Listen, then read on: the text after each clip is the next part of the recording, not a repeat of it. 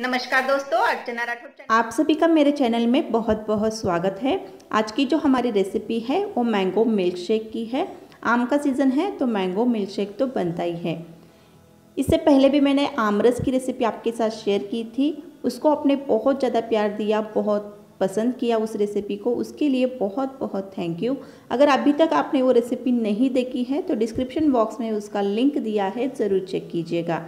तो चलिए आज बनाते हैं मैंगो मिल्क शेक तो इसके लिए मैंने यहाँ पे पके हुए आम लिए हैं दो, और उसको पहले तो पानी से धो लिया है। अब हम इसके ऊपर जो स्किन होती है, वो निकाल देंगे। यानी कि इसके ऊपर जो पतली लेयर होती है, उसको हमें निकालना है इस तरीके से चाकू की हेल्प से।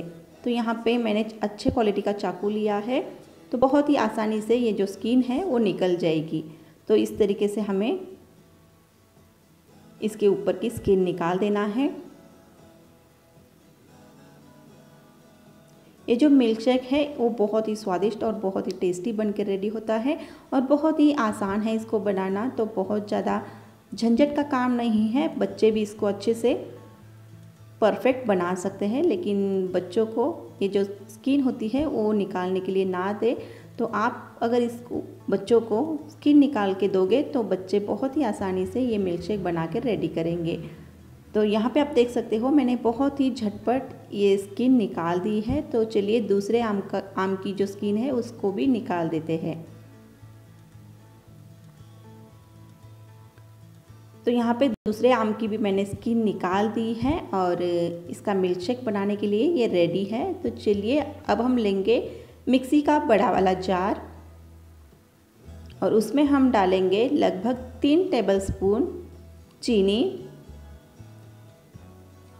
चीनी आप आपके स्वाद के अनुसार ले सकते हो कम ज़्यादा। उसके बाद हम इलायची पाउडर डालेंगे तीन चार चुटकी और बस दो चुटकी हम नमक डालेंगे। नमक ज़रूर डालिए, बहुत ही टेस्टी ये मिल्क शेक बनेगा। तो बस दो तीन चुटकी मैंने नमक डाल दिया है। उसके बाद हम आम को, यानी कि पके हुए आम को इस तरीके से जार में ही निचोड़ देंगे हाथों की हेल्प से, क्योंकि मैंने हाथ बहुत ही अच्छे से साफ़ किए हैं। आप चाहो तो चाकू की हेल्प से भी इसके ऊपर जो पल्प होता है, उसको निकाल सकते हो। और जो कटली है, उसको हमें साइड में रख देना है। तो दोनों आम का जो पल्प है, उसको इस तरीके से अच्छे से निचोड़ेंगे मिक्सी के जार में।